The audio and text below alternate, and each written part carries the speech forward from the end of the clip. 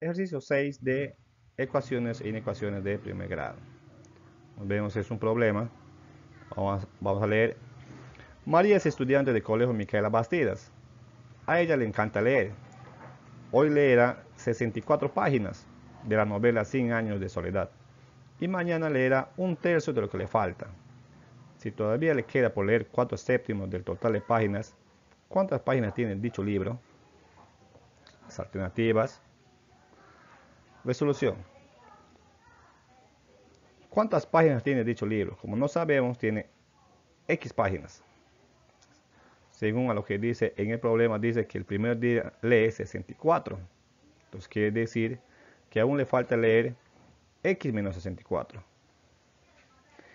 El segundo día lee un tercio de lo que le falta. O sea, un tercio de X menos 64. Acá está.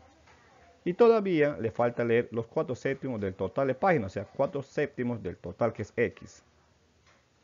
Planteando la ecuación 64 más x menos 64 sobre 3 más 4 séptimos de x es igual al total de páginas, que es x.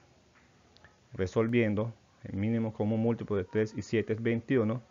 21 entre 1 21 por 64, 1344. 21 entre 3 a 7 por x 7x y por 64 448 más 21 entre 7 a 3 por 4 12x y le igualamos a x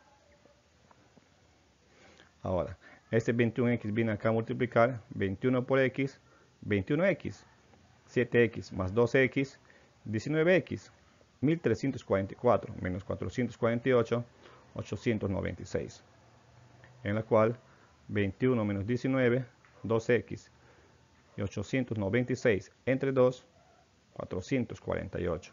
Eso es el valor de x y eso es el total de páginas que tiene dicho libro, es decir, la alternativa correcta es alternativa A.